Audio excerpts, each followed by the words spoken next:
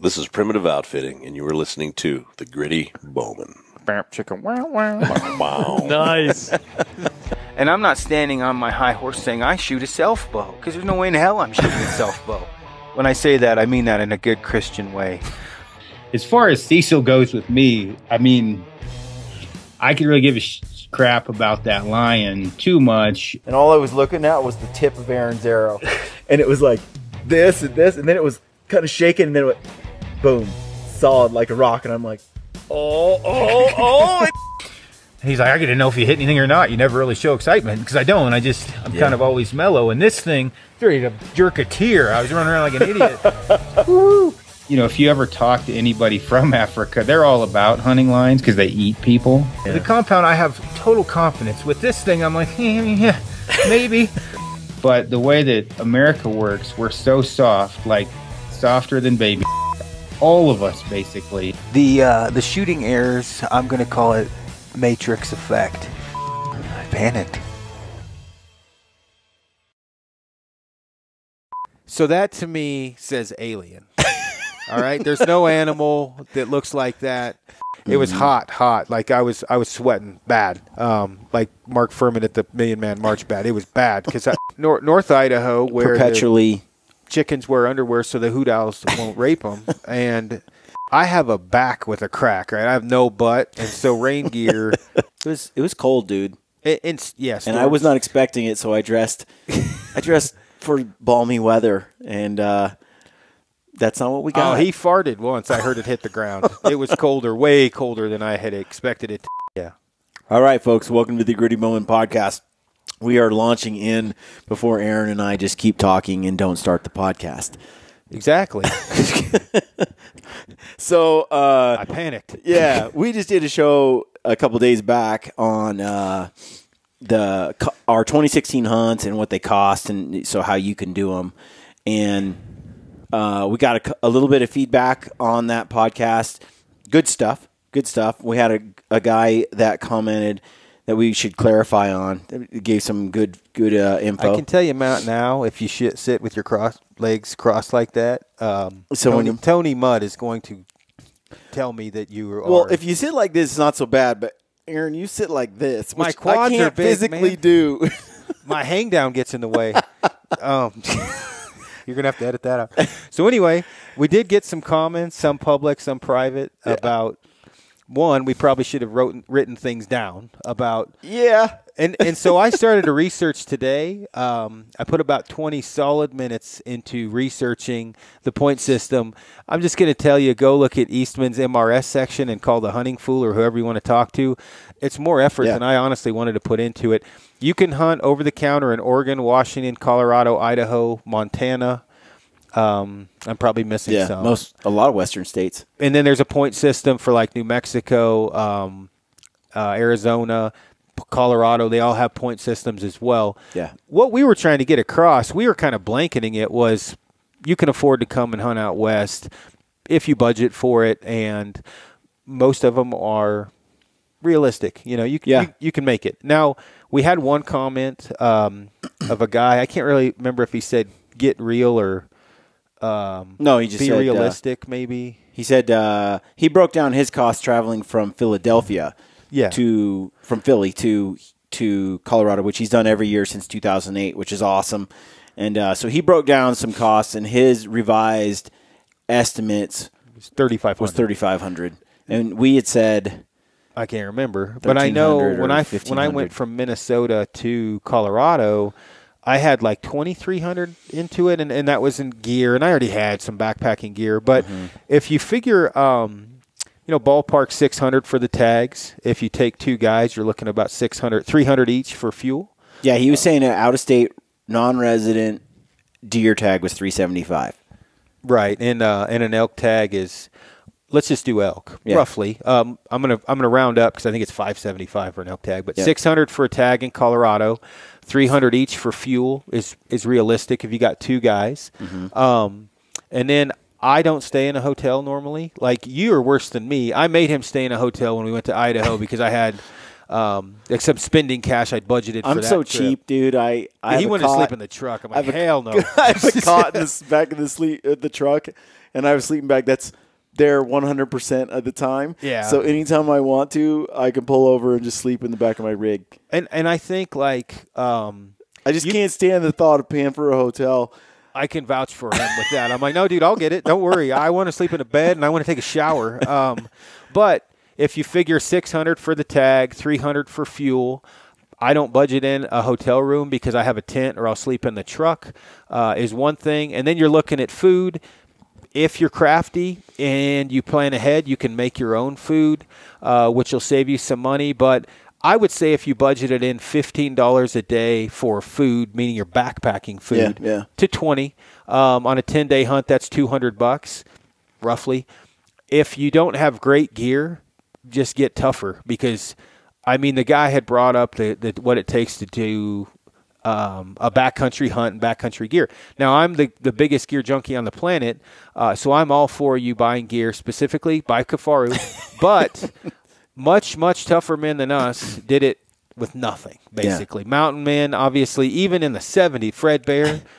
They, I mean, you just got to be tougher. Is what it boils down to. When I was on a much smaller budget and I didn't get free gear from everyone, um, I had like this Camp Trails thing that um, you know I had bought on. Um, uh, I can't remember. I think I bought it at a uh, Army surplus store. It was like twenty bucks. Yeah. Um, my budget was non-existent, so you know, were we exact on numbers? I don't know. Thirty five hundred seems high, but I believe you can get to you know Colorado on an elk hunt from a state that's not Vermont, but close, uh, closer than Vermont. But either way, around eighteen hundred dollars roughly. If you are, if you're tight, I mean, don't spend beyond your means. Don't have champagne taste with a beer budget. You can get it done. Yeah, I remember um, with going with cousin Ben uh, in Oregon. yeah, And of course, you know, we got our tags. I think a hundred bucks for tags and license and everything because we were residents. But it was a late season rifle hunt, and it was basically a over the counter or or one point draw. yeah, and we we literally borrowed guns from Yeah. uh, neighbors and friends, right? Yeah. Got some bullets, which we borrowed also, and then we got a uh, tent from Walmart, and it was nineteen ninety nine, yeah. and the, the the fly on the tent was about uh, three feet by three feet, but the tent was like five feet by five feet. so the fly was questionable at best. Uh, and um, and then we just brought some old sleeping bags and stuff, and we bombed up there, and we had, I think we brought uh, a loaf of bread and two a jar of peanut butter and jelly, and like ten cans of chili, and basically that's what we did, and uh, I don't know that we spent, you know, more than a hundred bucks each. You know, n- excluding tags and gas and supplies. Oh yeah, and I I guess which we love the comments because it's always good to have multiple different opinions. And it But I- depends on what kind of hunt you want to have, right? I was just gonna say, But- I would say be real. Tell that guy if he told me that in person was, don't buy such expensive stuff. Like if you're poor, yeah. hunt poorly. I guess. Like if you want to have a plush, comfortable hunt with the newest, greatest gear, it's probably gonna be expensive. Yeah, Um, and that's great because that's kind of what we've been doing lately. But I'm also 42, and uh, I've spent, you know, I graduated from college, you know, more than 12, 15 years ago. Yeah. and uh, and I've, I've I'm, I'm, it's not like I'm 20 anymore, so I can afford some things. Well, and we're blessed with obviously we get a lot of cool gear for free to try out, to test, prototype stuff, um, you know, promote the whole nine yards. So you know we're we're spoiled now in in that sense. And but I would say though, I mean, we're not exactly. I mean, Brian and I don't make a lot of money. Um, I mean, we do okay, Yeah. right? But it's not like I, I can tell you right now. Brian argued with me for quite some time on the way back and to Idaho about a hotel, and I'm like, dude, I'll get it. Like, it's not that. It's 69 bucks. We'll stay in a shithole. I don't care, but I want a bed, so it's not that big of a deal. But one of the things, um, you know, kind of covering that, you know, we should have done a little bit more research on the point system. Honestly, it's more research than I want to do at this time. Um, I think that 3,500 is a little on the high end to, to come to But if you're traveling all the way from Philadelphia, that's It- different come on, than Yeah. if you're traveling from uh, two states away or one state away. Oh yeah, you're going to have to add it fuel. I was thinking about that that 17 hour drive that we took to Idaho, northern Idaho. Well, if that's if that cost us, you know, four or five hundred bucks in fuel, well, if you're going three times that distance, well, it's fifteen hundred dollars in fuel or twelve hundred in fuel. So I figured it out you know? um, roughly from uh, it'd be about four hundred dollars each in fuel from uh, Pennsylvania here, if I figured out Okay. that correctly. Because I, I didn't want, I, I honestly I didn't want to give out too much misinformation. But if you're driving driving something that gets ten miles to the gallon, that skews it a little bit. Um, Right. You got to drive what you have, but it's definitely um, The point is that it's doable. Yeah, it really it's is for for m- mostly any budget, and we encourage people to come out and especially those e- those East Coast guys that want to do a mountain hunt, do it. Yeah, don't don't be scared. Get the gear that the best gear that you can afford, and and be as budget minded as possible. Start early, even like the food. Mm-hmm. I mean, start early with the food. I, and th- this is coming from two guys with a. we have been poor for off and on for quite some time, and got it figured it out and got it done. Um, it's not easy hunting out of state, but it is it is doable. But one of the things that that that comment had made about the guy um, for coming from Pennsylvania was gear. Um, Yeah.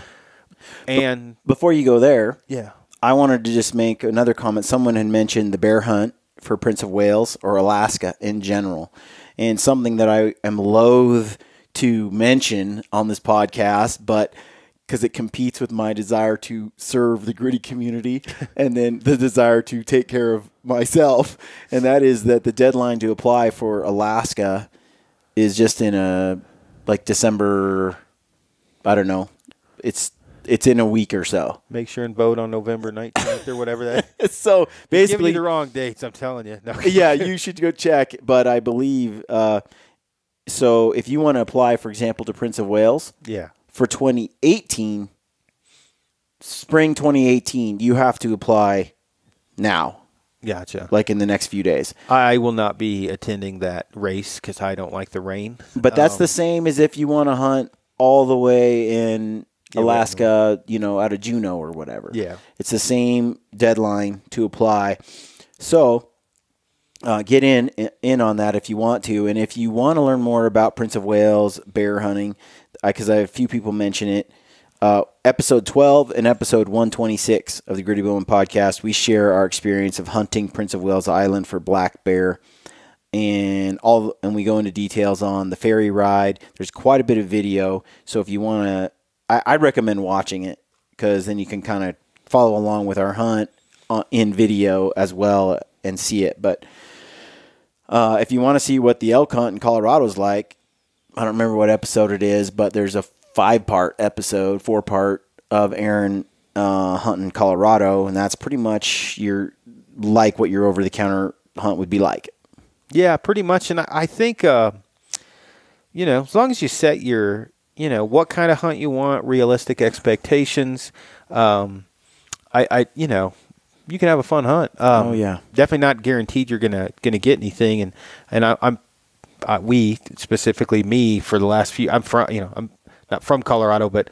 Um, I may not have a lot of money, but I have a lot of time in the field, so that helps uh, too. Yeah. But uh, But the gentleman who mentioned the, you know, his cost traveling from Philadelphia, you know, brought up the gear issue. yeah, You know, clothing You know, specifically. That's where a lot of people spend a lot of money is clothing. clothing. Oh yeah, for sure. I mean, you've got boots, packs, clothing, your weapon. I mean, yeah, but it, it can get expensive. But it made me think, and this isn't going to be a budget-minded podcast section here. Uh, this is going to be a clothing-specific. Um, I- I- backtrack a little bit. One thing I have found is um, when you're getting advice on clothing from people, it can be extremely skewed one direction or another depending upon where the person's from. So if a guy's from um, Oregon, he may cater a little bit more to the uh, uh, wet weather aspect of things. Where if a guy's from Colorado or parts of Idaho or whatever, he's going to cater maybe more to the lightweight because you know, specifically in Colorado, oxygen is uh, at a premium, and so you're trying to save weight. So he may give you some directions that don't include a lot of wet weather type stuff, uh, which you may need. So anyway, we're going to go over the clothing systems um, that we had used or would use or would suggest for the different hunts that we went on this year, as well as other hunts we've we've been on. Um, and we'll kind of knock it from um, in a row. And since it's Brian and I, there's going to be some squirrels involved in the middle of that. But we'll start with Colorado. Yeah. Um, the one thing I will say, and we've talked about this before, but with Colorado, not a lot of underbrush and not a lot of rain. Um, so, although we did experience a lot of rain while we were here, Dude, that first week was we got the snow and the ice yeah, and the wind. It was it was cold, dude. and, and yes, And I was not expecting it, so I dressed I dressed for balmy weather and uh that's not what we Oh, got. he farted once. I heard it hit the ground. it was colder, way colder than I had expected it to be. Um, but I, I would, uh, I would say, with Colorado, you generally don't have to worry about wet weather as much. There's no underbrush.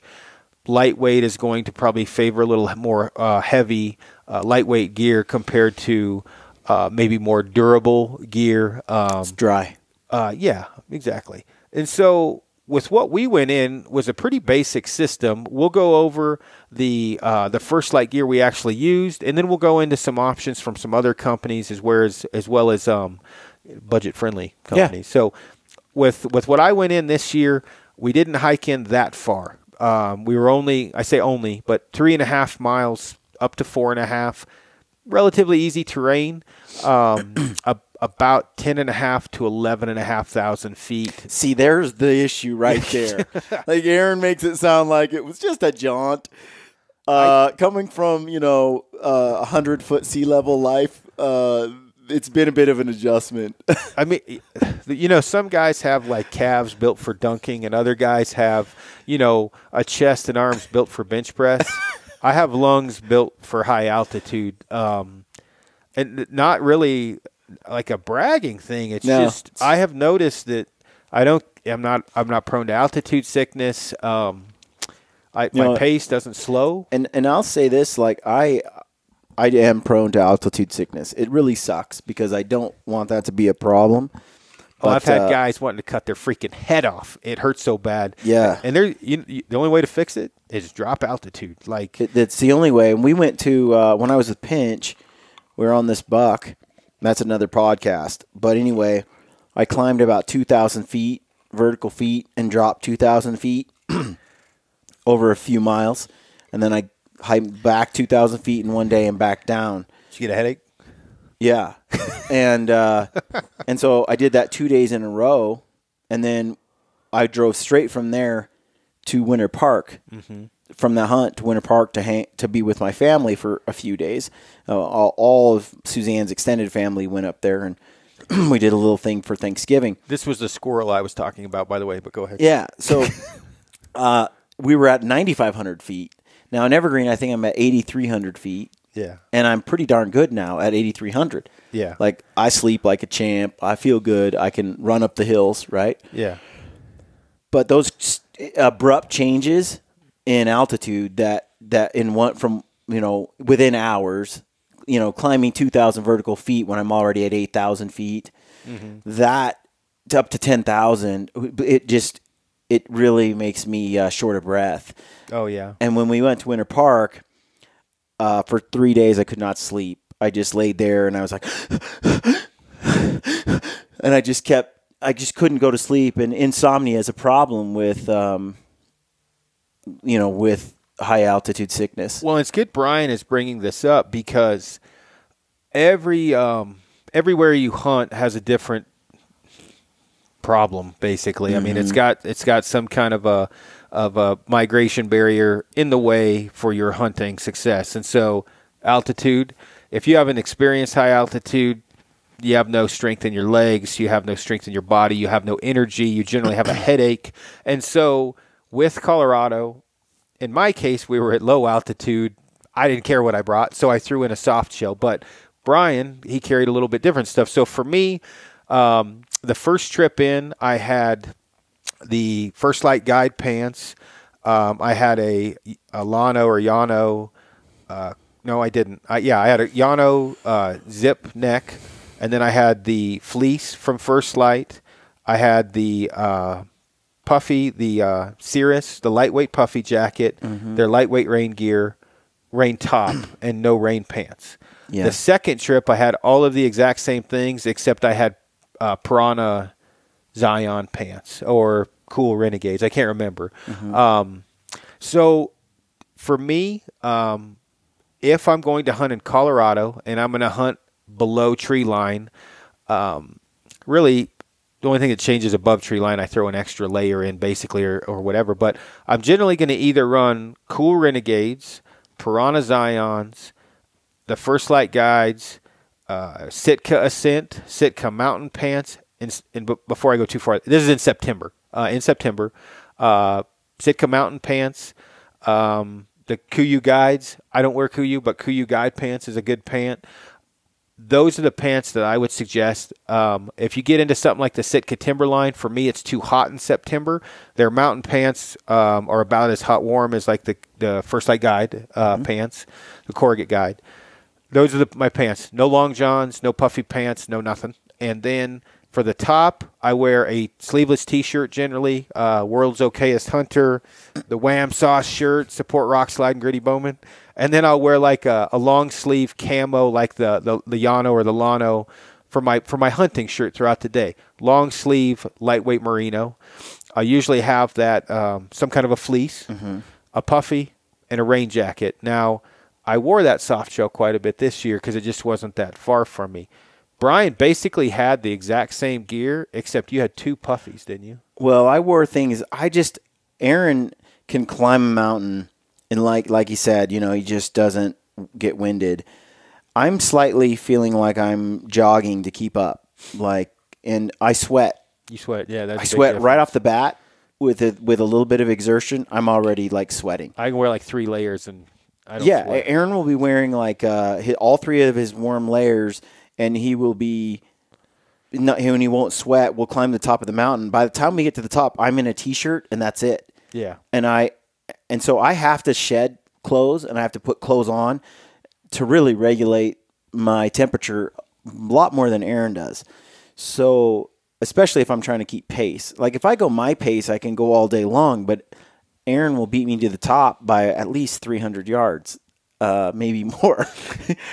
so It can happen. Uh, uh, so to keep pace with Aaron, I I find myself just sweating. So and it's and the, the layer system is huge that you bring that up. Now me, I don't have to use layers as much. I am a layer guy, like people mention it all the time, because I'll have f- several different layers rather than one or, Yeah. or one primary. Now, when I go into higher altitude, it starts to get into that one layer, or not one layer for the entire system, but I may go from five or six layers to three when I'm at higher altitude and colder weather, and I'll go over that in a minute. Yeah. Um, now, we went I'm just gonna say my favorite setup is the Chama hoodie, yeah. t-shirt and a Chama hoodie. I I like that. I can quickly scrunch up the sleeves, so it's like a short sleeve, right? I can put the hood on or off to sh- to cool myself. And I usually I'm a vest guy. I wear vests.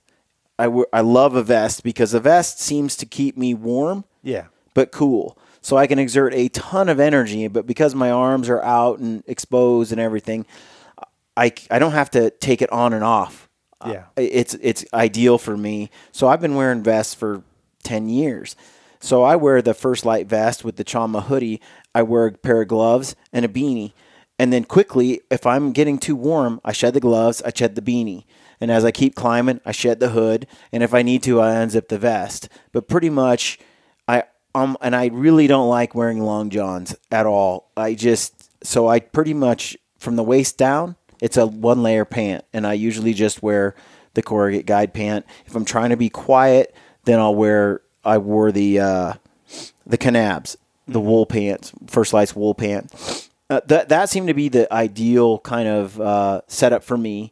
And then I always had uh, either the the first lite parka or some kind of puffy. Yeah, yeah. Um, yeah I you might wear the wear the- Kifaru one when it's really cold.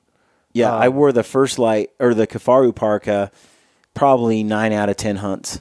Yeah, you had it on a lot, and that jacket's war- uh, it's it's extremely warm jacket. Now, You're not getting any style points with it. no, well, But- if Stay Puft's a style point, you're nailing it. Like drop the mic, walk away. It's got that giant um, on the bottom. It's got the giant uh, canvas. Yeah, yep. So you can low crawl. Yeah, and then on the sleeves. And when we were in Alberta, and I was freezing to death on a couple of those days where it was really early, and I'm crawling through the cactus, uh, that helped a lot. Yeah. And when I wasn't using that, it was brutal. Well, when we built that jacket, we tried to make it a little cooler than the older one, but we really just made it to not die. Like It's bomb proof. we tried to make it. It's hard uh, in a puffy jacket. I will say it's hard to have warmth, durability, and a cool factor.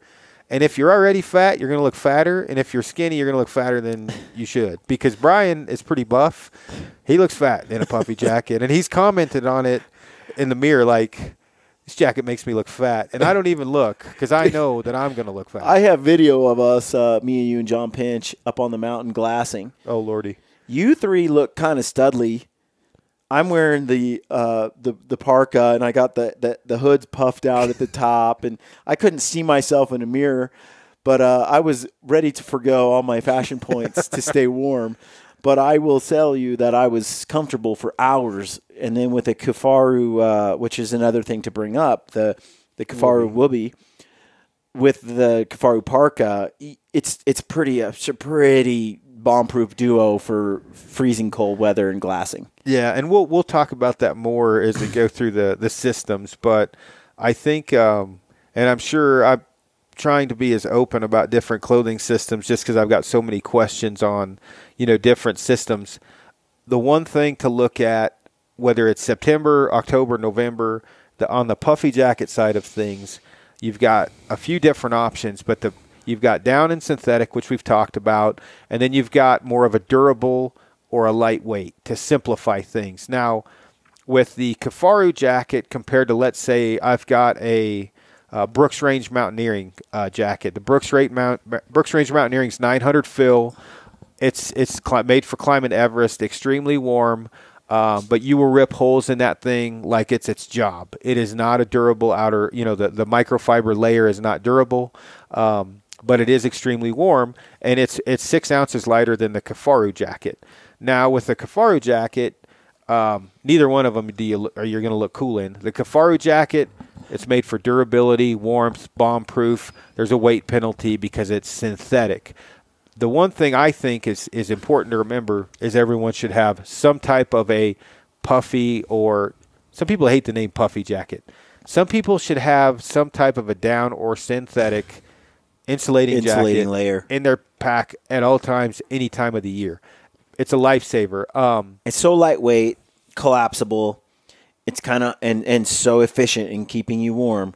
It's kind of a no-brainer. Yep, yeah, it is. So that's pretty much what we. Well, when we killed, we almost had identical stuff on. When we killed my bull, um, I had the soft shell from First Lite. It was a cold morning. I also had uh, the Halstead fleece. I had a Chama hoodie, and then I just had a regular T-shirt on under that, um, and then that that beanie hat. You had basically the same thing, except you had a puffy. The vest, Yeah. like that's the one difference between Aaron and I is I I super rely on and use a vest every time, and Aaron doesn't. And now that's not totally true. What it is, in the spirit of full candor, I do not look good in the first lite vest, so I don't wear it. um, well, there is that. I don't know that I look good in it either, uh, but but I definitely feel like it's the shoulders, dude. It looks like my shoulders giving birth. It just doesn't fit. That it fits other people well. Yeah. It just doesn't fit me that well. Well, I uh, th- that's good to know because I sit here and I put it on and it's like, man, it's so efficient in terms of like I can run up the mountain and and just jack up the sleeves and stuff and I am st- I- with my backpack on. If I were dressed like Aaron with a Halstead fleece and and the things he was wearing and and he does, he runs up there, I would be drenched. Well, I was in that shaking getup. like a dog shit in peach pits after I shot my elk. How cold it was! Like I was already emotional from the whole dealio, and then I'm like, You were shaking, cold. I was cold, and I Your didn't. Your nose was running. Yeah, my nose runs all the time. It's bad. And and the nose thing is just literally I mean, something I can't. No matter what, my nose runs like crazy. Um, but so after that hunt, well, my mule deer hunt, which you weren't on, um, That was windy. I was I was I was also 80 degrees. I was in a sleeveless World's Okayest Hunter T-shirt for two hours and 50 minutes, um, with Kuhl Renegade pants on, and then for the last 10 minutes I put a uh, the Llano Zip Crew. No, I had the uh, the new Aerowool Zip Crew for the last 10 minutes because that's when I stocked in on it. It was hot, hot. Like I was I was sweating bad. Um, like Mark Fuhrman at the Million Man March bad. It was bad because literally 80 degrees when when I was when I shot that deer. um, and that's Colorado because that same spot 2 days later it was 38 degrees. Um, well, it got up to 44, but basically complete shift. It rained. It was piss and rain. We had bluebird skies. It was just hot as could be. We had to get the meat out quick. Yeah. So that doesn't really count. But then we went to Idaho, and we went from um, relatively high elevation Yep. to Dry. low elevation. Relatively, I mean, it rained and snowed on us a little bit, but still, the sun came out and everything was bone dry again. Where we went to Coeur d'Alene, Nor- North Idaho, where the- perpetually. chickens wear underwear so the hoot owls won't rape them, and uh, underbrush everywhere. You can't walk anywhere. Uh, there was there was at one point in time when we were hiking out. Uh, I believe I navigated poorly that day, uh, both in and out. in and out. Uh, yeah, the in was what was killing me because it was straight up vertical. and I have a horrible time. I just, it is bad with me because when I go the wrong way and it's steep, in my mind, I'm like, ah, it's a good workout. Not everyone looks at things that way. I found uh, Brian didn't yell at me, but I don't think he was thrilled. And uh, I Well, we were we were relying on Ryan Avery's directions. he's like, go down to that stump and you kind of take a left, and there's a trail, and you go up the hill, and then you take a left and Right. stick trees. I kind of screwed that up from the gate. I left it way too early. So, but it rained about 15 minutes into that day for the entire day. No amount of rain gear was keeping it out.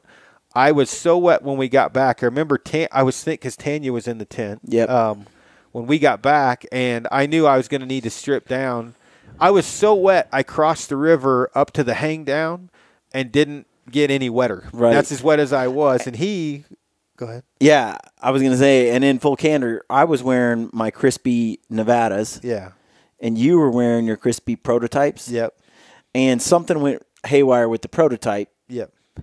They they created those boots in like two weeks and sent them to you. Yeah. So they had a minor, minor, major leak, and so your feet were wet.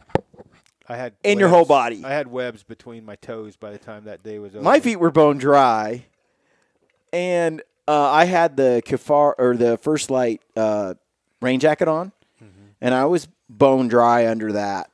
Um, but from the waist down and from the ankles up, I was soaking wet. And I think what happened with Brian being um, dry is not saying Brian wouldn't have uh, whatever. I was leading that day, busting water Yes. off. That definitely caused more issues for me. But it's the brush hitting you while it's wet. I was walking around and I was hitting everything with this trekking pole as well before I hit it. I was after more of you an went all go no quit guy. I just blew through it. But it's so thick in North Idaho. You take three steps, and we talked about this on the podcast. Mm-hmm. Uh, Dwight Schuh said, "Hunting North Idaho, if you can stand at a fifty-story building and put an elk on top, and go up the flights of stairs, and every third step." Have someone smack you in the face with a branch, and every fifth step have when someone throw a bucket of water in your face. That's North Idaho. Mm-hmm. Yeah. That was that day. Um, I was so wet. Luckily, Tanya and I are special friends. I was like, "Hey, hop out of here! I'm going to strip down to the undies." And then I got to my undies, and I'm like, What's so the I point? threw, yeah, I threw on dry underwear and wrung my underwear out, wrung everything I had out, and that fi- we burnt that fire all night, and that stuff still wasn't dry. yeah. Um. It reminded So- me of, uh, you know, the Oregon coast. Oh, and that's why I don't. But colder. Oregon coast. It, and that was another thing. It was when we got up to where the the elk were. Uh-huh. Um, we hit what probably thirty mile an hour winds. Well, and I'm used to being wet in Oregon, but even when it's wet, it's 60, 50 degrees. It's it's still warm, Yeah. even though it's wet. Uh, North Idaho was the same level of wet, but with frigid coldness. Right. Right. It- Forties, thirties. Well, I was just going to say, we basically brought the same stuff to North Idaho that we had in Colorado. What I would have done, um, number one, is uh, two sets of boots. No matter what they are, I would have had two sets of boots. And I brought two sets. I brought the Summit and the Nevadas, and they would get soaked on the outside, Yep. but not penetrate to the inside. Yeah. So uh, what I'd never quite noticed or realized before was how cold your foot can be, Yeah. even if it's dry, and you're but you're putting on a, a very wet outer boot. Right. That makes a That was cold. difference. I was really surprised, especially when it's 30 degrees outside and there's frost on everything and it it's icing a little bit, and then you put that boot on in the morning.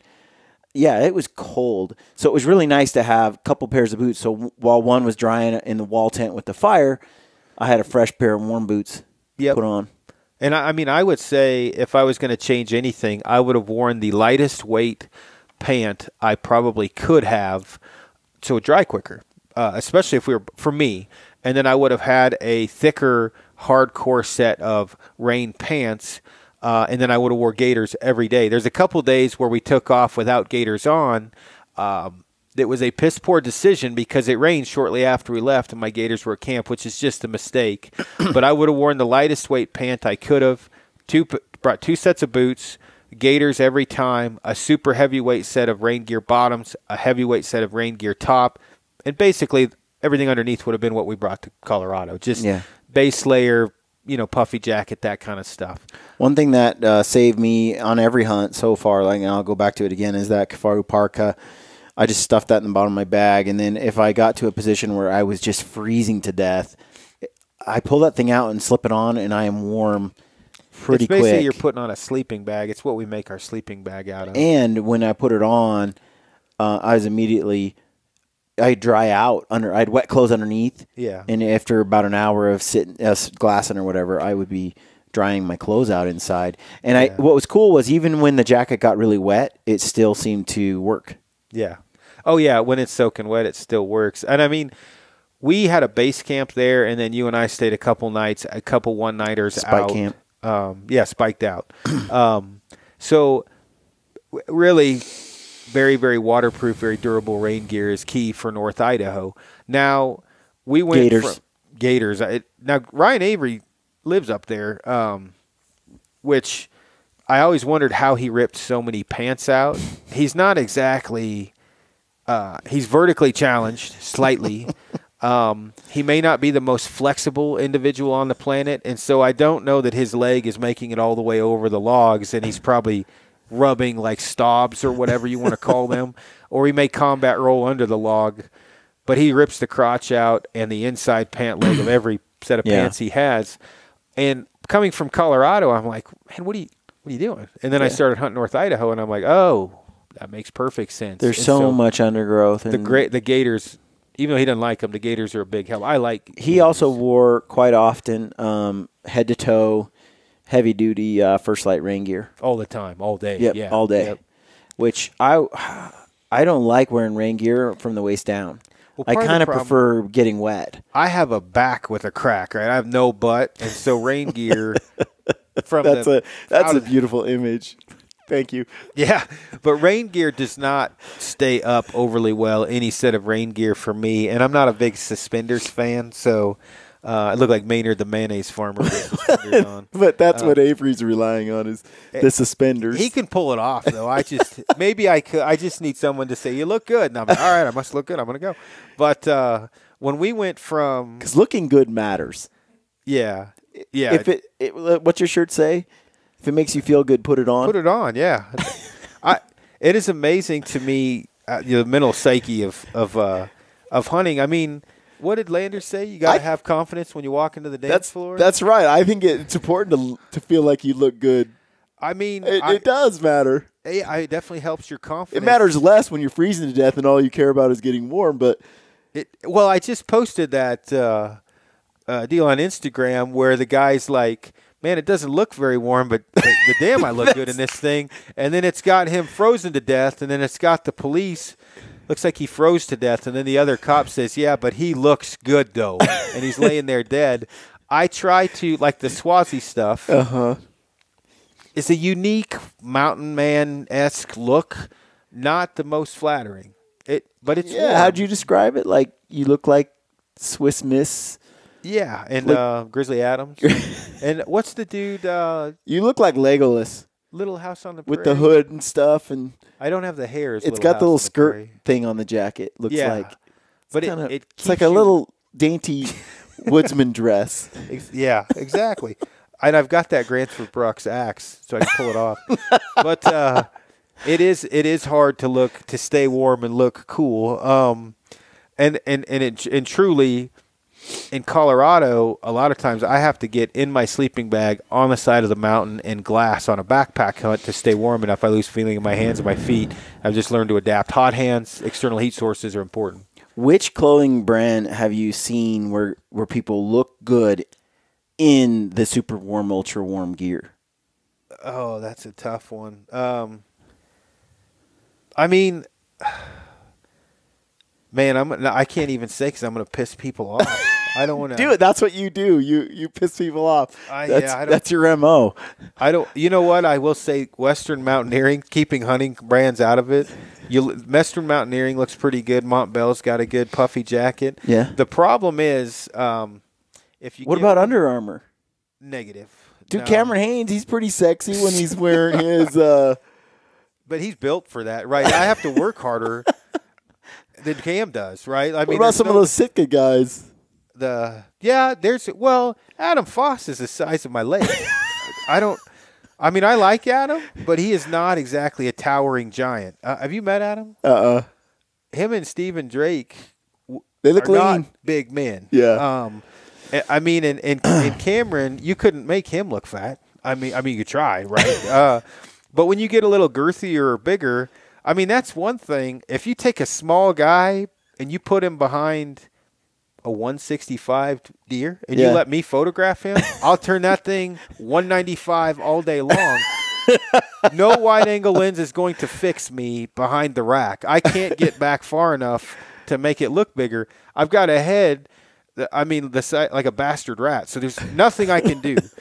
Same with puffy jacket. Yeah. There's just not much. You, and you're broad chested, so you get kind of the V thing going with the tail of the jacket Yeah. which you've commented on. So Yeah. there's there's not a whole lot you could do. I would just say experiment and try it on and see what makes you feel confident and wear that one. So uh, aside from the looks, though, performance wise, um, let's say we're looking at technical quality of garment, like how well it's performing, and we haven't used everything this year because, um, you know, we're working with First Lite, and Yeah. and so we've we've heavily used most of their products, and their stuff's very was very good. Yeah.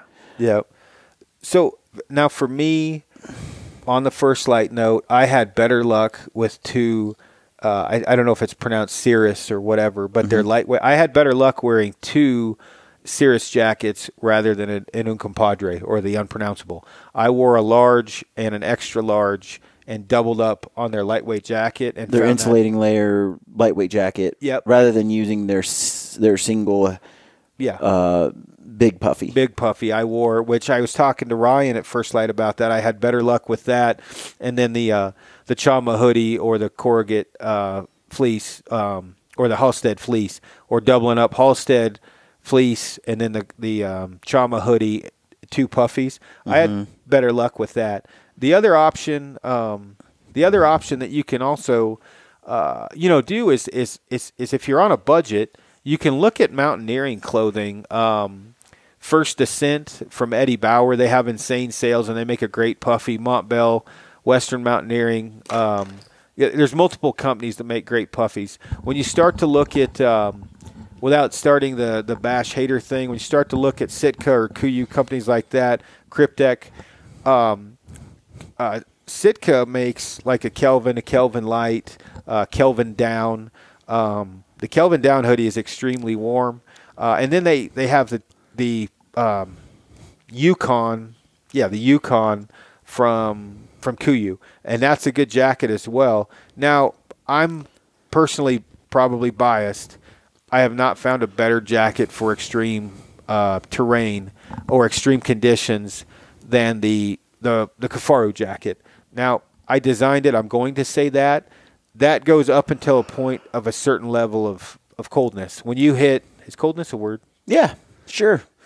That's a, that may be a George Bush word, uh, but once you hit a certain level, down's a better option. There's there's no way around it. Once you get so cold, you don't have to worry about the down getting wet because everything's frozen, and then you want to get like a 900 fill, um, you know, heavyweight down jacket. Now, It's like the equivalent of wearing four sleeping bags. pretty much that Brooks Range mountaineering jacket. Um, Most ca- of us, you know, when we hunt, we're not getting into those kind of conditions. no, I It's mean, more mountaineering. I, I mean, thought we were going to be on that fourth season hunt.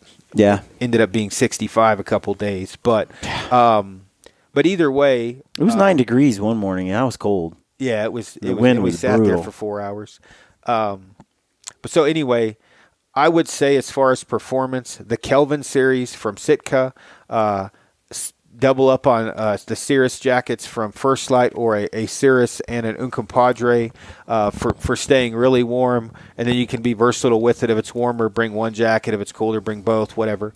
Um, I'm not overly familiar with the newest Kuiu stuff for the simple fact they don't like me and I don't really like them, but they make good clothing. That Yukon is a great jacket.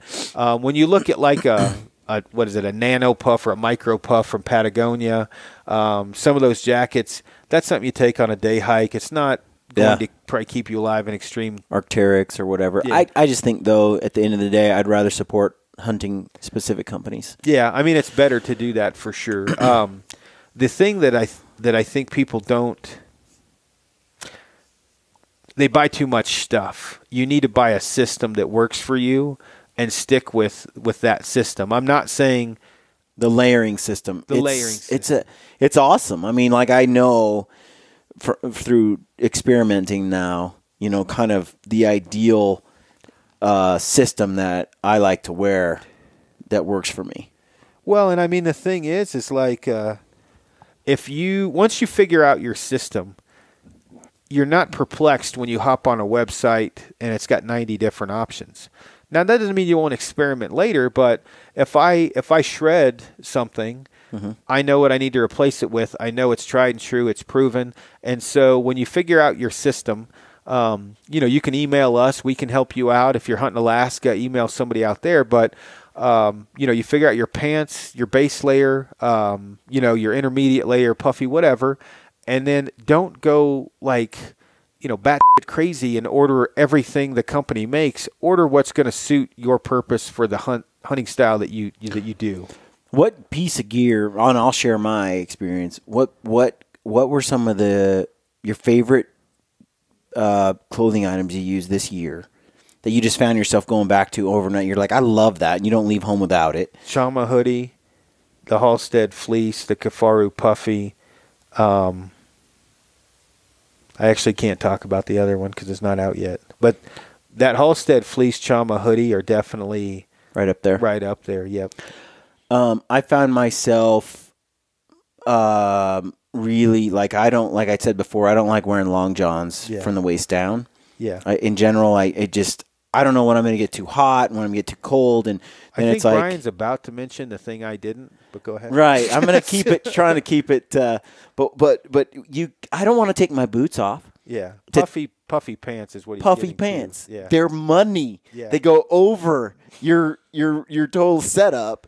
I, I have to take a bathroom break. I'll let Brian go into that because I don't think we're supposed to talk about I'm not talking about any specific company or brands. exactly. No problem. just here. saying. Nothing to see here. there's a, a, a overpants. What do you call them? Puffy overpants are money. That's that. Uh, any any company that's producing those or has thought about it, they should because they they're awesome. They just slip on over everything. So when you're freezing to death, um, you know you're just instantly warm. It's like heaven. And then they come right off and go in your backpack, and they're tiny. So, puffy pants that go over your normal setup, not puffy pants you wear underneath, because you got the same problem, man. You got to drop your drawers, you got to then untie your boots, and you're doing all this stuff trying to get them off. I don't want that. I want them just to go over to me like a warm blanket and then come off really quickly and go in my pack. So uh, that was an awesome product that I probably am not supposed to go into a lot of detail on. So that's as much detail as I'm going into. Um, and Aaron is still not back yet.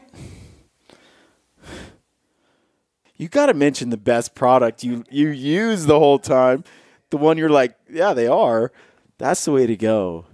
they don't weigh anything. The only problem is is the butt ripped out. Like every there's rips all over mine. They're all duct taped. I was gonna bring them. They're in my pack over there, and I was gonna show them, but I'm not. We're not supposed to talk about them yet. But Aaron and I talk about stuff we're not supposed to talk about all the time. And those companies should just thank us for that. are we supposed to talk about these? These are on their website. Yeah, we can talk about the gloves. Um, so so those are the aliens. is that what they call them? That's what I call That's them. what you call I'm 'em. gonna I'm gonna grab my other ones out of the pack. Aren't these bear claws or something? What are they? The polar bears. What the do they ones call I these? have these. So here's my. This thing, is First right? Light's glove. It's like a mitten with a crab claw. So that to me says alien. All right. There's no animal that looks like that. I'm gonna grab the polar bears. Okay. As we all know on the Coke commercial, they got a polar bear, right? They got to Yes. hold it. So I'm gonna grab the polar bears. So these are the other glove that I found myself in extreme cold conditions loving this glove. And uh, it's got a little hook right here for those that are watching on the inner glove. That's like, uh, and I, I don't know if it's like wool in there or what, but, and you slip this thing on.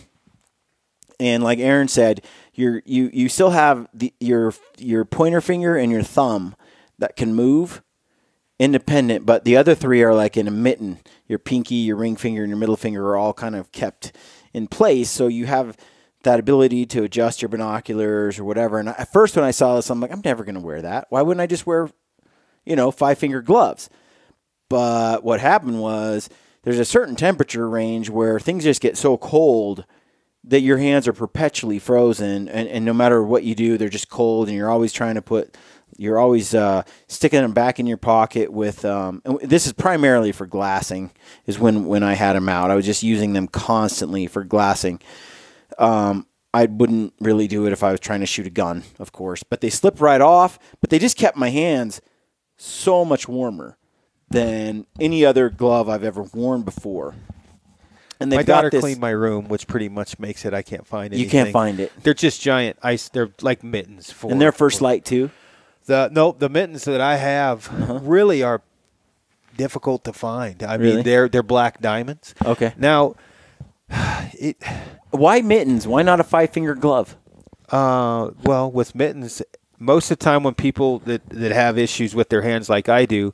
Your finger gets cold in a five finger glove, even like those Yeah. big ice climbing gloves. So the mitten is the same thing as when you take your fingers, when your hands are really cold, and you pull your fingers out and you ball them up in the main hand section. What it is is heat is generating throughout the entire section, meaning heat from every finger is going into the same place. Heat from the hand, Yeah. where when you stick your fingers up You got the finger just your middle finger heating up the space that the middle finger's in. It's just not enough. And in my case, I fought too much when I was younger, and I have no blood flow in my hands, which you've seen. Yeah. They turn purple. I can't even light a lighter. I, Your I have hands to are worse be- than mine. I have to be very mindful about um, my hands, or I'll get myself into trouble. Um, Uh, this this glove is just sort of that mi- that mixture between. the the thing that's nice. Let me see one of those. Uh, mm-hmm. Yeah. Um, You this just is put it on, the huh? Best Because it makes you feel awesome. Yes. I, I put them on. I was like, I feel like a boxer. So what's cool is you can take this finger and do the same thing. What's this where you have finger for those that are listening? Oh, Your pointer index finger, and it'll fit into its other three brothers. I don't know what those Yeah. fingers are called. Your flip off finger, the high hard one finger, the pinky, and that other middle ring finger. And you can fit your index finger in the pocket with the other ones to get all the heat. It'll actually, Oh. you can fit them all in there. So you can just you, You can turn it into a mitt. Yeah, it's a, mitt. a mitt- true now, mitten. Now, if you make a fist for you watching, This no matter finger's what a renegade. do, the index finger's sticking up because there's nothing. I like to there. call it the pointer finger. yeah, the pointer, the nose picker. It's a renegade. It's all by itself because there's no finger in it. Actually, not now. And then when it, you know, when I need to do something, you just pop it over. just pull it over and you And look, get- now I have the pointer finger working again. and you can work the dial on the top of your binos or on your. Uh, I David Copperfielded the shit out of that. Um, so you know what I like, Aaron? huh. See this this Oh, uh, felt? snot. It's for snot, Yeah. isn't it? It's I- a snot wiper. It's a snot wiper.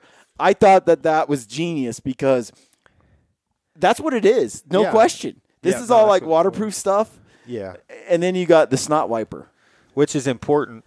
Now, these are I had a set of gloves like this from uh, a company I can't remember for ice fishing. Mm-hmm. Um, and I- it might have been Black Diamond. I don't know. But what's cool to see is the hunting companies making these. Now. Yeah. I mean, it's very important. This has I don't know what you talked about while I was going potty, but the wool inner liner. Of It is this- wool then. Yeah. It's like sheep's wool. You, this comes out, so you can Well, care, careful. Take my glove apart. You better be able to put it back together. whammy. Um, so now you just have the the internal portion. So one of the things that's nice about this is if you're worried your hot hands are gonna gonna pop out, throw your hot hand in the main or the outer shell, the waterproof shell. And you're talking about a hot hand is a uh, Ex- is your It's an external heat source. It's just this little. Uh, it's a little bit smaller than a wallet. Um, those little shake 'em bags that Yeah, I'm Like not a of sand or chemist, but there's two things in there, and when it hits oxygen, Yep. it gets warmer. And then you can put the glove on your internal glove, and then when this velcros, it holds that hot hand in place, Yep. so it won't fall out, which is nice. Um, and again, it is as weird as it seems. Just having that index finger and the opposable thumb, you can get quite a bit done with Yep. that in cold weather. I loved this glove. It was a surprising. I mean, when I first looked at it, I was like, nah, I won't like it. And then I used it, and I was like, wow, this is actually. Uh, but it's the really- alien, man. Live It is. long and prosper. I like it. except I'm missing the middle finger. So let's move. We're going. So the uh, overpants, those the are awesome too. now. So those the- are two things I really liked. And then uh, I'm with you on the Chama hoodie. Yeah, I use that It's good all the time. Um, the thing with overpants is I've been using overpants, puffy pants forever. Um, it started off. I have mountaineering friends, you know, Mm-hmm. and you go about the time you feel tough. Go with a guy that's climbed Everest somewhere, and he'll knock you down several levels. Um, he's generally going to look like a Trustafarian, maybe or maybe not. He's going to have some veins coming out of the side of his forehead, and he's going to hike up the. He's just going to crush you, and he's going to actually know more than you, and then humble you, and then you're going to actually learn from him. And the first thing I went hiking with a guy that had just summited Everest, and cold weather. We were snowshoeing. We stopped. I had long johns on. Um, we stopped for lunch. It was pretty. Um, yeah, 18 degrees, maybe 15 degrees. Um, I stopped, had nothing on but long johns and my pants. I was sweaty from the long johns. He pulled out puffy pants, threw them on, and uh, me being, you know, the tough guy that I was, um, am shaking like a dog in peach pits, and he, as warm as can be, he pulled out those hot hands, threw them in the warm pants. He sits there, he's making soup and coffee. I'm doing everything I can to function as a normal human and not sound, you know, like I have Tourette's. It's bad. And so that was probably 10 years ago. And Yeah. I've worn them ever since. I call them, me personally, I call them glassing pants.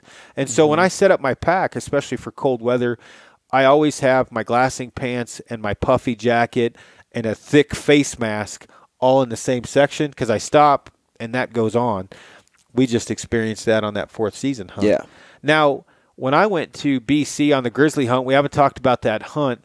Um, that hunt there wasn't uh, super extreme, but it snowed a lot. It was very, very cold. Um, it was rainy. It was snowy, and if I was going to do that again, I would have definitely I would have brought different or warmer clothing. Um, there, honestly, I would have brought hot hands. I would have packed hot hands in. It was it was difficult for me to sit there for that long and in that in that cold of weather to glass, and that's all we were doing was Yeah. glassing. And these are the things, and we don't need to go in, in, in too much more depth, um, but the things I think people need to consider is five of the right pieces of, of clothing will go farther by far than 15 of the wrong pieces of clothing. What do you mean by that? Meaning, if if somebody grabs a soft shell, for example, they're not useless by any means. They're not really built for backpack hunting. But let's say you buy um, a rel- relatively lightweight, um, like a base layer T-shirt, and then you buy a lightweight one, long sleeve to go over that, and then you buy like oh, it's just some kind of a fleece jacket to go over that, and then you buy like a a piece of um, like a uh, I don't know what a good example, some kind of a hoodie, like a polyester hoodie, you would actually be warmer with one really good puffy jacket and a t-shirt than you would with all of those at the same time. Now you can't dress up and dress down as well, but if you get a solid base layer, a solid intermediate, a solid puffy jacket, so on and so forth, by the time it's all said and done, you're only going to have four or five uh, layers for your top for any conditions but and, and they may cost you a little bit more, but those five layers are going to be able to withstand just about anything rather than saying, oh, this really lightweight jacket's on sale, this lightweight puffy, I'm going to get this. Well, it might work in September, but it may not work in November. And and that's what I mean. If you really kind of decipher, you know, the goods, bads, and everything else, you can get away with five pieces of of gear for up top and get away with just about anything. You just want to make sure you get the right five. When a puffy Makes jacket sense. is very important for that. Yep. No, I think the puffy's huge. So, um, tell me about uh, glassing in extremely cold weather in fourth season, Colorado, which we just did. Well, Because I want to get, because one of my favorite things is the Woobie. yeah. So again, I work for Kifaru, but the Woobie and the um, and for whatever reason I have trouble saying it because it reminds me of a pothead. But the doobie, which is a double Woobie, it's as simple as it sounds. It's double the insulation. um, we'll just call it the double Woobie for Hey. the, um, But people might go on the website and look for it, and it's called a doobie. It is Aaron. called a doobie. Um, what can I say? Uh, but it, it's it's a survival blanket. It's it's um, it's the same as a poncho liner in the military, same principle. But the um, the outer layer or the shell is calendered, and so what calendered means is is it extremely wind resistant. Um, it's a continuous filament, so there's no baffles in it, so you don't lose any uh, body heat or no wind comes in through stitch holes, which happens with down. So it's extremely windproof. It's extremely durable, and the insulation that we use is extremely warm. It it compresses down. Uh, very very small. My daughter uses it for her bed. That's it's funny. We I was like, you want me to get a comforter, and she's like, no, I use my Woobie. She likes the Woobie. Everybody likes the Woobie. Suzanne loves the Woobie. She's confiscated my Woobie. I, I mean, I actually um, I leave one in my truck uh, for like a survival blanket.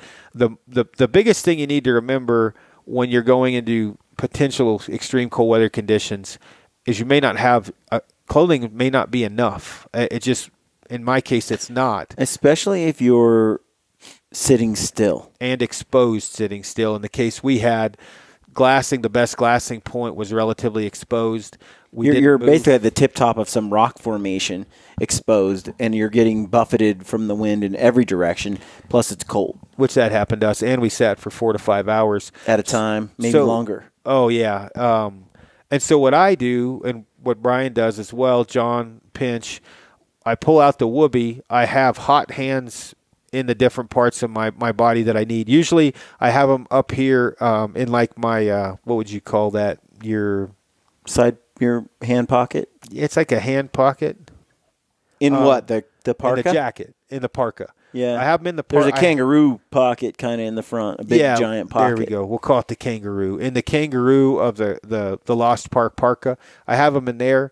I generally have them in my pants, like my, my, my hand pockets in my pants, and sometimes I'll have them in my gloves as well. And then I wrap that Woobie around me. I wrap. I take my boots off, or I'll loosen up my boots. I wrap it around my feet so I'm fully blocked from the wind. And then I just kind of manufacture my tripod legs around that. And then that body heat I have plus the heat from the hot hands or the external heat source is generally it's just bouncing between the Woobie and my body um, in my clothing, and so it's just a big hot box. Which it wasn't that cold most days we were up there. No. It wasn't horrible. But you, when you left, John and I were still there. It was cold, and yeah. there were a couple of days where it was, uh, you know, nine degrees or below, where we were up there. It was by far colder on one of those days when you weren't there, and uh, I ended up taking. You know, of course, I put on the parka, and I also have the Uncompahgre. Yeah. First Lites puffy underneath that, and parka on top, the Kifaru parka, and then on the bottom, you know, I have my my over pants, my puffy pants, and what I found was surprising to me was how cold my feet get inside boots. Oh, dude, it's I have to. I, so I have down booties. Uh, believe so it or did. John Pinch. Well, It's because he stole that idea from me. You show offs have these down booties, and I'm like, how stupid is that? You got boots on. How? Why would you need a booty over top of a boot? And then I I I became a believer. But one thing I did in place of that, in lieu of it, was I just put the parka. I wrapped it all the way around my bottom half, including my boots. yeah, And then I plopped down, and there's no place where there wasn't snow. So I'm in the snow with the parka and the, the Woobie wrapped around me, and my boots covered and everything. And I'm glassing, and I'm like in heaven. yeah. And uh, I got to admit, the uh, the park, the the no, um, for some reason, maybe it was just the insulation, or but uh, the snow did not melt through or get through the the uh, or get the the Woobie wet Yeah, it generally doesn't. and it kept my feet super warm because it's like wearing a booty. It takes a lot to get through that outer layer. It was amazing. Well, I mean, we we have it coated afterwards, or Uh-huh. we can, but uh, when it with with it is true. There is a reason why it's so expensive, though. It's a pain in the butt to build. It's heavy duty. We'll pour water on that and make a bowl, and it'll take a significant amount of time to leak. It wouldn't matter if the insulation gets wet anyway. Um, That's what I figured. So I wrapped it all the way around, and I'm cozied up, and I'm looking. And something I brought this trip.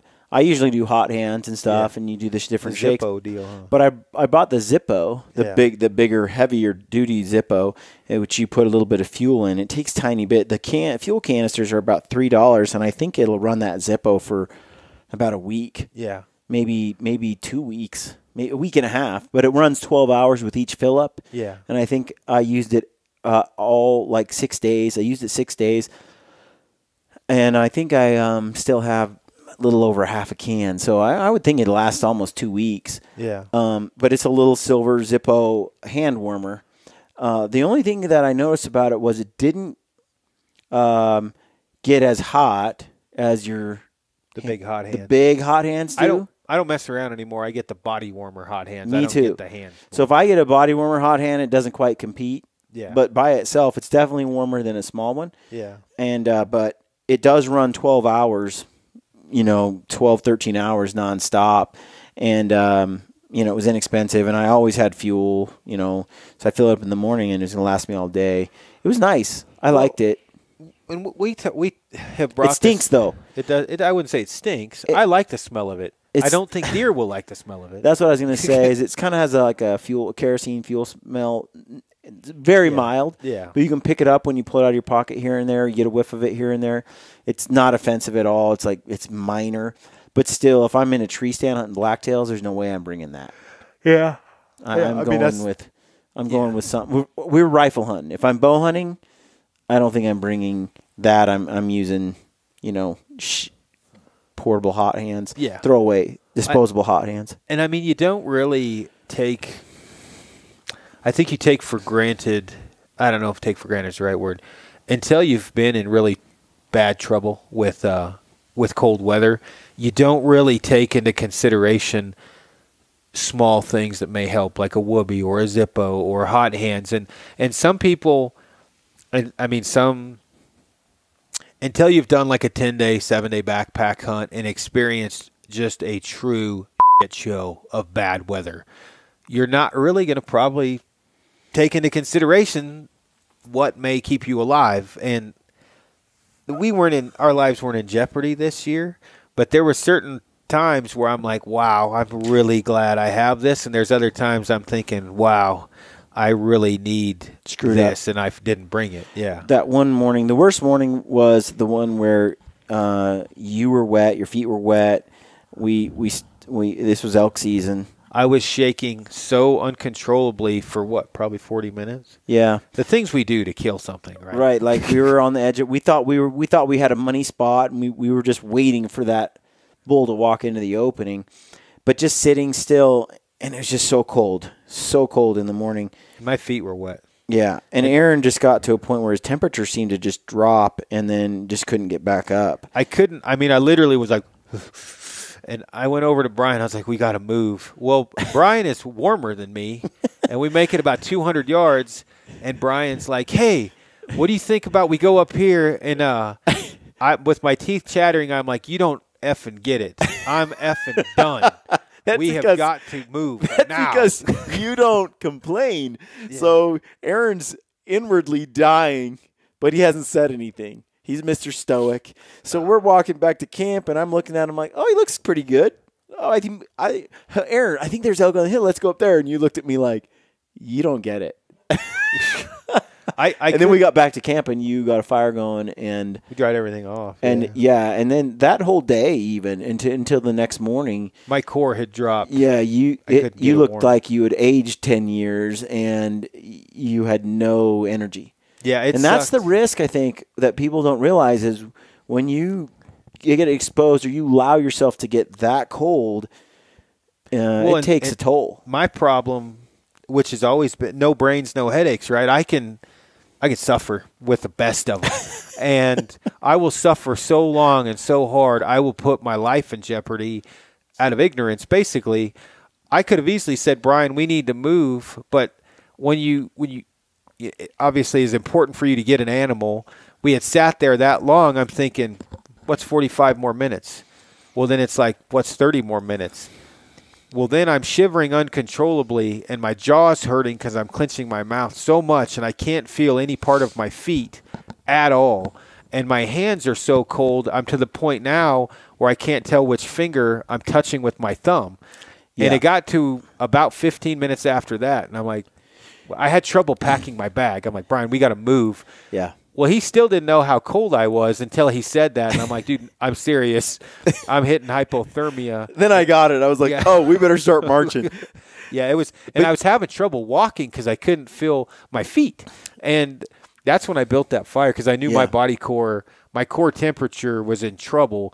And you're right, like we got back and you said, "Dude, you look like you're ten years older." Yeah. and I couldn't. I slept that day throughout the day. Most of the was day. in my bag. So Anthony is a lot like you in that regard. I've seen him just tough it out all day long, like in a blacktail tree stand in the Cascades. yeah, and it's freezing and he wasn't warm enough and he sat still all day didn't drink any water yeah, and all of a sudden and he's just like whatever it takes to kill this big buck yeah. and then we climb out and we get in the truck and then he's in convulsions and we pull over and he's dry vomiting on the Vomiting. Yeah, I've been road there. and, Yep. and then we're rushing him to the hospital and they get in there and they rush him in they're like he's severely dehydrated and his organs are shutting down you're like whoa, whoa wait a minute Dude, I've like I've pissed blood before. Not trying to compete with it, but yeah, when you pee blood from not drinking water, you've hit a dumb shit level above all others. That's It's why like- I'm like, I don't, I don't understand because when I get to the point where it's like that, I'm just like, screw this, I'm done. But you and Anthony have another level of drive and and and determination and stupidity that I don't really. It does boil down to stupidity. I mean, all of you thinking, man, that's crazy that Aaron and Anthony are that tough. It's not cool. I can. I have been so close to death before. I mean, and it sounds over dramatic, but I have been solo on hunts where I have been so cold I couldn't build a fire. I couldn't physically light a lighter. So the only option you have at that point is pray you can walk and warm your body up. well, when you know you're that tough, you're gonna you you've got to. I think you've. Like I'm just not, so I'm I'm okay with that. I'm okay with not being that tough. I'll I'll I'll I'll be like, okay, this has got to stop. But when you're that tough, you gotta have the self discipline to say, you know, enough's enough. Let's cut this short before I get to this downward spiral. and I have Um, not. I have many times not done that. And the the thing that um, why I think I'm so not anal, but maybe hard headed. well, well, I'm definitely that, but steadfast on the gear list and try to let people know what they should bring is that I have been in a position where maybe I have not Yeah. brought that, and and and I mean I I I have been in just about every situation you could possibly be in, from falling through ice into rivers to you know whatever the case Yeah. may be. That there were times where I'm like, I may not make it out of this. You know, like wow, why did I do this to myself? I remember I was too poor to buy neoprene waders, uh, so I used to fish with a float tube with no with in shorts and in very cold weather That and seems flippers. foolish. And I remember getting out of the water multiple times, and I was stumbling out of the float tube, but I wanted to fish, and I couldn't afford neoprene waders. Yeah. And so when when when I do get a kick, and I generally don't reply to them when guys are like, "Oh, you you guys are rich, you're spoiled."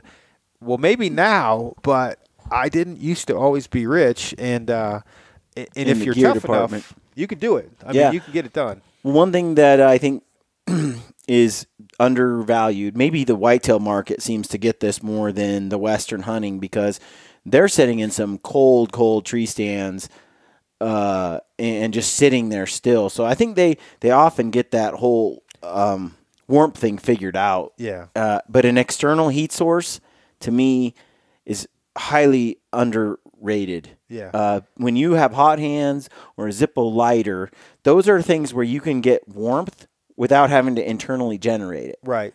And sometimes when your temperature goes as low as yours did, It's not generating any. it's not going to generate it. You need something from the outside to warm you up, some external heat source, and that's where though packing uh, some of those is really nice. The other thing is trioxane tablets and fire starting. yeah, building a fire. You are a fire making fool, and it's the difference between. I mean, man, can it improve your mood, your attitude, your motivation? Just It's like it's it's A Mountain blaze- Man television. dude, a blazing fire is just like I rule the world. You know, there's just a, a certain confidence thing that comes back. I'll survive. I can do this. Something about warmth like that, and the same thing with a wall tent. You know, when we came back in Coeur d'Alene after being drenched for two days on a spike camp, Yeah. man, and you walked across the river waist deep without taking your boots or pants off because you were I so did- wet. I did get good photos of Brian crossing the river, and it was funny because I squatted down to get a lower angle, and then I could feel the water hitting the hang down, and it didn't matter because I was like, I can't get any wetter than I am, so I just squatted in the water and got Yep. it's pretty epic photos of you crossing. I, I was still dry, so I was like, I ain't going in, you know. But but definitely, um, the uh, fire makes a difference, and that's where I think.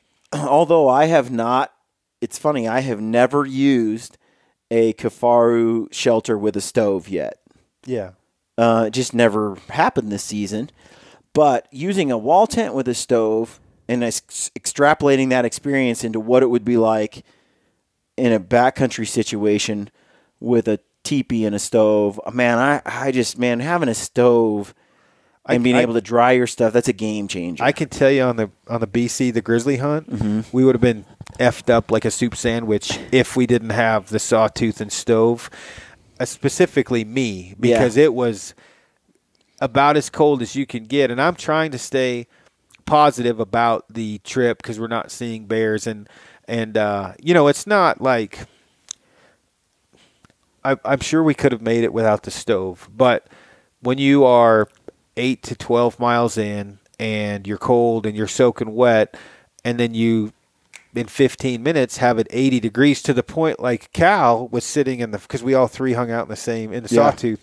I mean, literally, Cal, like I'm broke back mountaining the, the crap out of it. I'm down to my undies and a t-shirt, just stoking that thing. I like it hot. Well, and he's giving me crap about it. I can sleep in when it's pretty hot. Yes. Um, and I mean, literally warming everything up I have, drying everything out to a point where I'm like, I'm going to suck in every bit of this heat I can, even though it's hotter than I really want it, because tomorrow I'm going to freeze to death. And so that's a game changer. There's no way Yeah. around it. I bring a super tarp and a Smith cylinder stove in the spring a lot solo, and uh, we all go on these big trips. You'll go on them, and we, we backpack in and we bring these shelters and and literally the one year Colton fell in. After Colton fell in off this log, I'm like, in the water. yeah, fell in the water, rolled down, And Colton took it like a man. Like he he came up to that log, and I may not be afraid of heights, but I'm afraid of falling off a log into a river. And I'm like, I don't know if I can make that. Colton, no hesitation. Boom. Straight on, he makes it almost all the way across, and he gets a little wobbly. And we're not talking like an old growth, right? We're talking a pecker pole, right? Small. and he grabs this branch and it breaks, and he falls in. And I see him rolling down, and he gets on the other side. He's like, the stick broke. and I was like, my fat ass is not getting on that log. I'll just go across. Well, then I'm like, I'll barefoot it. Yeah. I, I've, I have feet like a two year old baby. So You do have tender feet. I just walked across with everything on, and I. The reason why we were able to do that is we knew we had the mm-hmm. stoves. Other than that, I don't know that we would have been able to stay the night because it. While we're talking about this, another squirrel. Dave Ziegman brings a Tenkara rod, right? Colton is like Brad Pitt from River Runs Through It with a beard and four inches taller. He's slaying the fish, right? Well, Ziegman is a fly fisherman, uh, but he brought a Tenkara rod, which is basically like bringing a paperclip to a machine gun fight, right? He's got a stick. So Dave is naked, chest deep, to get farther out in this water, fishing with Yeah. the Tenkara rod, where Colton is on land dry, spooling it, right? Just Right. slaying fish. and me, I'm warm now, so I have a torpedo bobber, and I'm on the edge watching this, thinking, this is. I got pictures of them in the Yeah. snow, but the thing, like Dave got out, we had a fire going. I don't know how he didn't freeze to death. That man has amazing threshold. He's the one with like three ankles, one growing out, like 18 knee surgeries. He broke his leg. He does the R and D for Yeti mountain bikes. Uh-huh. The guy's insane on a bike. He broke his leg. For for those of you watching, this area here Below his knee. below his knee and it's spinning, right? Like and he's riding he has to ride back. So I think Oh. they ended up duct taping that bastard to the cross member so he could get back and so and then I think they duct taped it. But they said the guy was behind him when he was riding, since that thing's swinging a couple times, it hit rocks. It was like, and it spun around. Dave's a tough individual, uh, extremely tough. So, but Dude, the- that's wrong. there's certain things when think well, not the leg broken. That generally doesn't happen on a hunt, but to stay warm, stuff to build a fire, the survival blanket, things like that are are important. Um, I mean, after that, the fourth season hunt, same kind of stuff we used in BC. The Woobie was important, puffy pants, puffy top, things like that. What was your favorite hat? Oh, that the merino beanie from First Lite. By far, that's my favorite hat. The I wear it constantly. I wore it today. Uh, the lucky one now, the primitive uh, merino beanie was my favorite hat. And I don't. Um, I'm a beanie guy. I wear one all the time Yeah. anyway. But that merino beanie's pretty nice. I also like um, the beanie, the hats that um, the the I, I think it's called Happy Creatures. Um, that Yeah. lady made that Yeah, not yeah, a, yeah. not a hunting hat, but she's hunter friendly. She custom made the ones with ears. Yeah. that hat's another one I wear when it's um when it's colder. I, yeah, it's Happy Creatures. I thought she was an anti hunter, Right. And she was liking my photos. I'm like, and so I started looking into it, and she made these Yeah. bear hats for kids. Yeah. Well, I had her made a bunch for adults, and we wore them on the bear hunt to be ding dongs. And Kaylee has one. And Yep. Anyway, um, Those are great hats. I love that hat, and it's it's kind of cool because it's handmade. I have, I, I like the first lite hat, but it's really tight, and I, I really can't stand a hat that cuts off circulation. Yeah. Uh, and so I wear, I like this cheap solo hunter beanie, my Mountain Ops beanie. I actually like the cheap ones because they just they're just loose and they they they fit well. Brian may but be leaving out. He loses a lot of things too. I so do lose a lot of hats, so I don't I don't like them beanies. I tend to lose beanies, so I, I don't like them to be too expensive. Not to throw Brian under the bus, Brian lost a Sony A7S2 and one to 400 lens recently, Lost is a strong word. misplaced for a while. Like two days, I was starting to panic. It's like only a six thousand dollar setup with the with the Yeah. adapters and the the doubler and I just recently learned Lance Manning has my binoculars. I was sure I Hey! lost those. Yeah, I'm I'm just as bad as Brian. I've never lost the camera. I've lost some spotters for a month or two. What I did is I lent them to a buddy. Couldn't remember who I lent them to, Yeah. and then I needed it. No idea who I lent. I got to get a list on the, Yeah. the man cave. But I do have a balaclava, right? Not a baklava. I Baklava it, is a dessert. I call it a block of lava. I'm sure it's wrong, but it's a fuzzy face mask. Yeah, I have uh, one of those, and when I'm really cold, and I don't even know, what brand- I I wouldn't mind getting a higher quality one. I bought that one years ago at Cabela's in some bargain cave thing, but it's just got a hole. It's just a ski mask. Yeah. But I gotta admit, in Alberta, when the wind was whipping really hard and my nose was running bad, and we I've were just the- glassing, it was nice to put that on and just have the eyes poking out. I had the first lite one, which is super warm. Oh, yeah. I needed it that first day when I was sitting there in the with the fog. Yep. Uh, it, it was bad. I did wear that first lite one that uh, it's just the net gator that Yeah. you can pull up. I do like that one a lot too. Yeah. But uh, yeah, the Chama hoodie's right up there. It's Um, handy. Yeah. Uh, anything else? No, I don't think so. We should probably stop talking. I have to buy groceries and get dinner tonight. So that's our clothing kind of update podcast. Uh, Yeah. I mean, I think we'll probably touch on it again in another month when we've seen maybe two months, I guess, when we've seen some of the newer stuff from the shows. we'll go Um, to ATA. Yep, go to ATA. We've we've we've got a lot of stuff we've gotten to see we can't talk about as well or some stuff until the ATA when it's released, but it is important to buy have good clothing. I think one of the takeaways here is don't buy a million pieces of gear. Yeah. Buy the layering system that works for you. That you know from so you can wear that stuff from all, all the different temperature ranges and then exertion levels. Yep. Yep, Um, for sure. And uh, an external heat source is great. Yep. If you can engineer or come up with some of those, whether that's in your tent with a stove or you know Hot hands. hot hands or lighter or something like that. Um, and uh, yeah, you got our spiel. Yeah, that's it. So, all right. Well, thanks everybody for tuning in and uh, stay gritty. Stay gritty. In 1907, only 41,000 elk remained in North America, and in 1950, only 12,000 pronghorn remained. Today, there are more than 1 million elk and 1.1 million pronghorn. Why? Because hunting is conservation. In 1937, hunters actually requested an 11% tax on guns, ammo, bows, and arrows to help fund conservation. That tax so far raised more than $8 billion for wildlife conservation. Altogether, hunters pay more than $1.6 billion a year for conservation programs. No one gives more. It's obvious that hunters care about animals, and yet we actively hunt and kill them. Many people cannot understand this dichotomy. How can we both care about animals and also kill them? It's a question that I challenge all of you to consider. Here is an excerpt from the Gritty Bowman film, Alberta, with a quote from Fred Bear that describes my feelings on this subject.